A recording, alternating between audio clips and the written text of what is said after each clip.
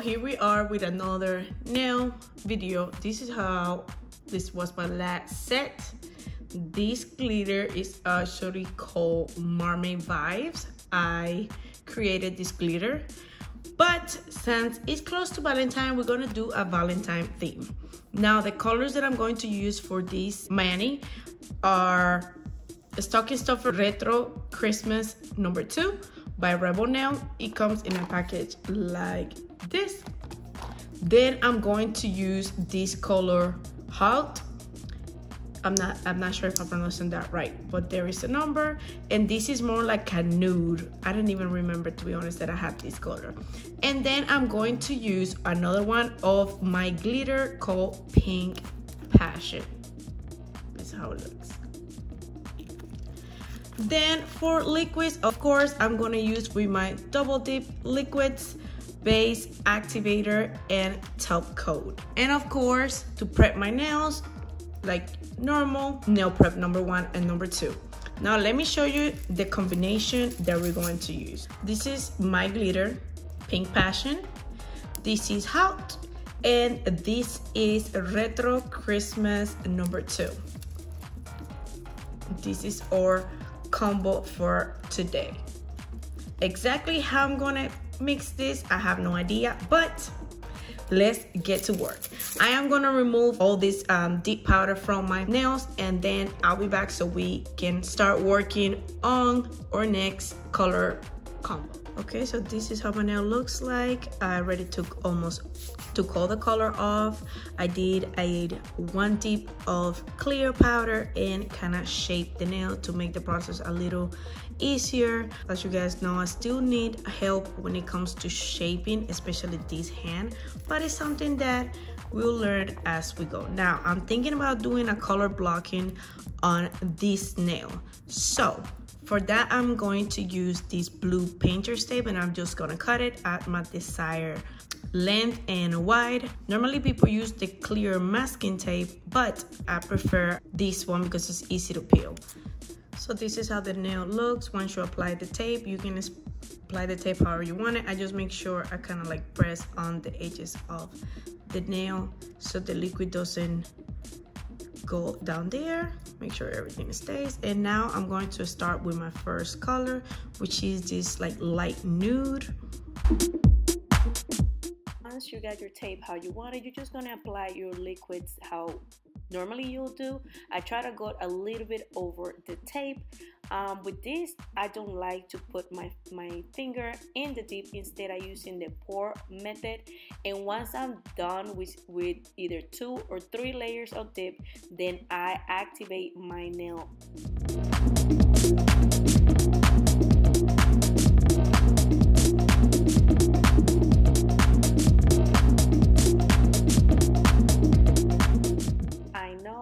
looking a little messy, but you do have to trust the process. Then I'm using my Revel Nail Retro Christmas number two, and this is like a light pink, and I'm using this in my um, little finger, index finger, and my thumb. This is a very, very light pink, I went in with three dips instead of two now I like when the color is a little bit too dark. I only do two dips, but I went ahead and did, did three to make sure you can the pink was visible. And then on top of that, I did encapsulate the color using clear dip from Revel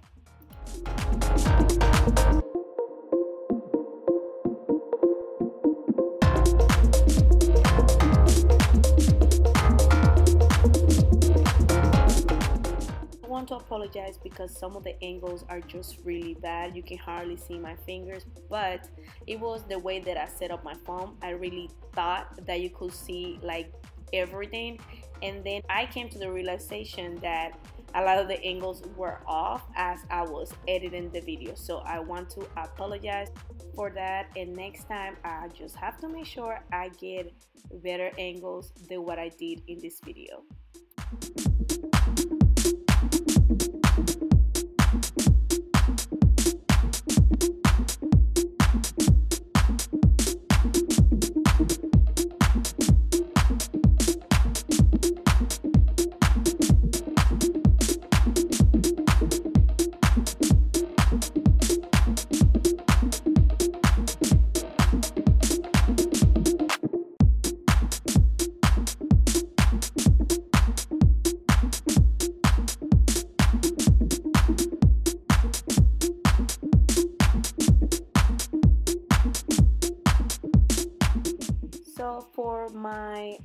middle finger and my ring finger I'm using this glitter that I created. It's called pink passion and this glitter has different tones of pink.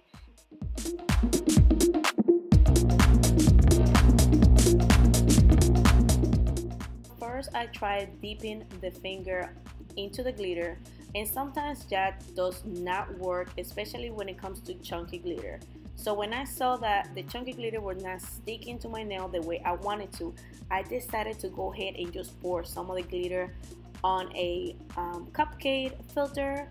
Um, you can do that and I'm just tapping to make sure all that chunky glitter uh, comes up to the surface and it's easy to apply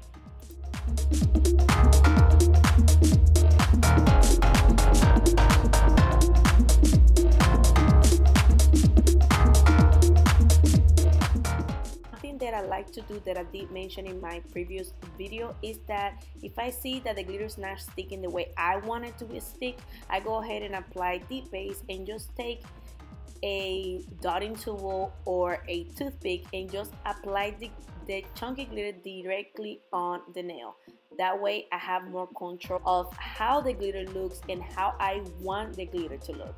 This is just a little bit time consuming if you don't have a lot of patience, if you're in a rush, but I love, love, love, love how the result turns out. Once I'm satisfied with how the glitter looks on my nail, then I go ahead and encapsulate that using the clear dip. And yes, I'm using my one and only Vivian from Revel Nail.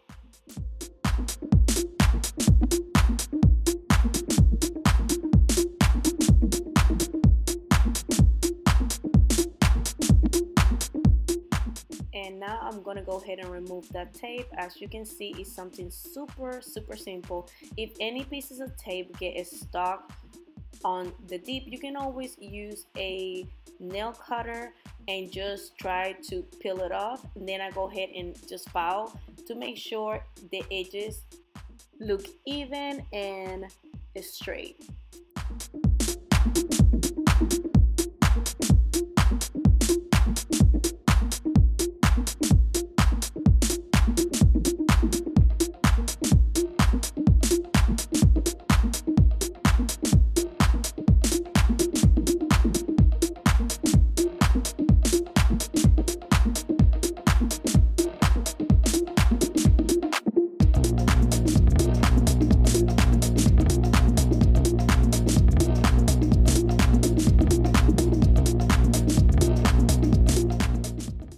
the nail looks the way I want it to look, I go ahead and apply the dip base and apply the glitter on the rest of my nail, make, trying to make sure I don't touch my skin while applying um, the dip base. And if I do, I try to clean it with a dotting tool or with a toothpick.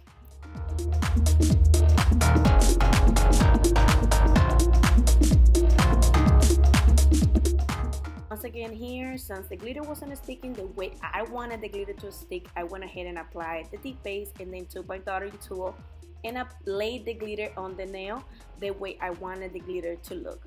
Like I said, it's something super simple and you have more control of how you want the glitter to look.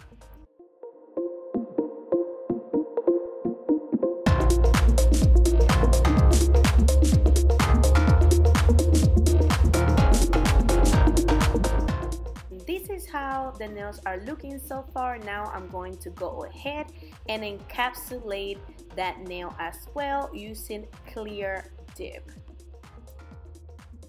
Not only encapsulated is good to protect the glitter and the color but also any little cracks that the glitter didn't fill you're gonna fill it using the clear powder that's where your nail is gonna feel super smooth because all the little gaps are to be completely covered once you use the clear.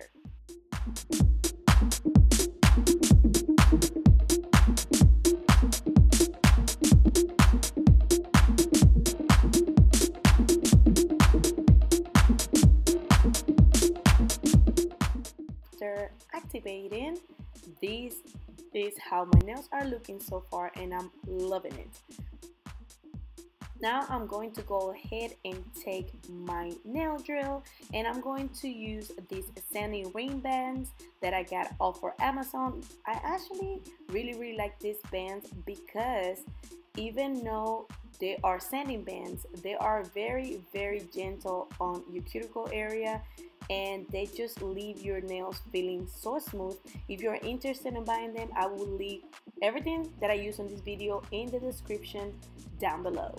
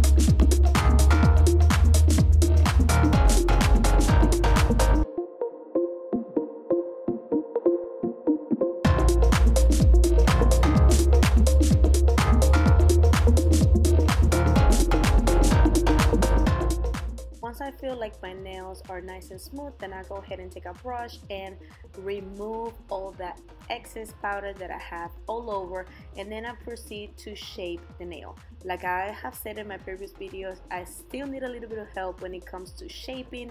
I'm still struggling a little bit, less than what I used to do when I first started doing my nails, but we're getting there little by little.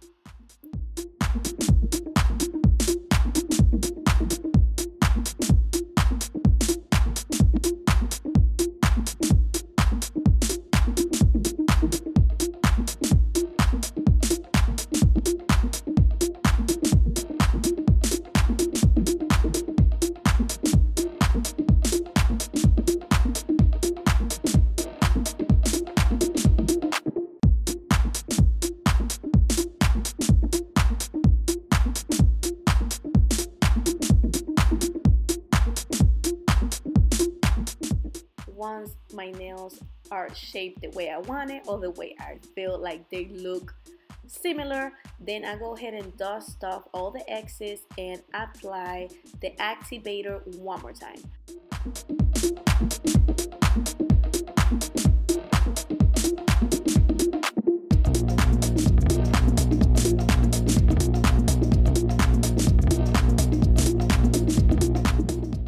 once I activate my nails, then I go ahead and apply these nail tape strips.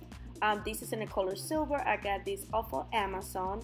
And one thing that you need to know about this uh, tape, when you use it, you need to make sure that your nails have no residue of powders, as well as where you lay your strip because they will not, I repeat, they will not stick to your nails if they sit on any kind of powder.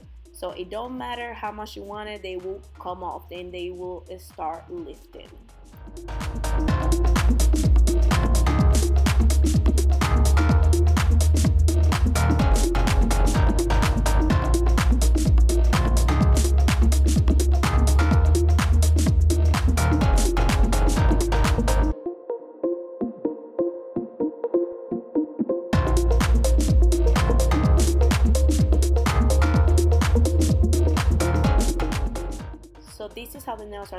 Now I do not want to encapsulate this using another layer of clear powder because I already have five layers of powder within my nails. So what I'm doing here is applying dip base on all of my nails and then I'm going to use activator. This not only is going to encapsulate my nails and the nail strip but also is going to leave my nails looking so shiny and smooth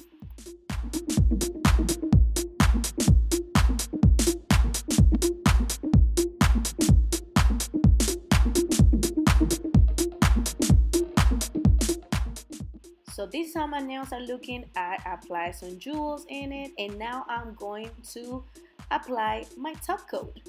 And that's going to be almost our final step. Um, after I activate it and apply my jewels I kind of let my nails sit there for a little bit of time just because I want to make sure my brush does not harden from using the activator.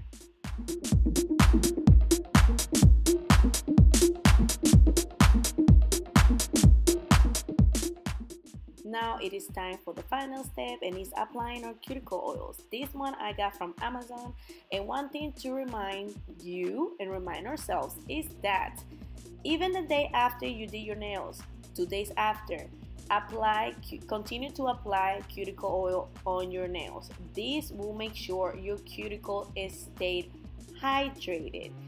It is also going to stimulate your nail growth. We're supposed to use cuticle oil every single day to keep our cuticles moisturized. So, this is the final results. These are my Valentine's nails. So don't forget if you like the video, give the video a thumbs up. If you're new to my channel and you like what you see, hit the subscribe button. And with this being said, it will be on to the next one. You.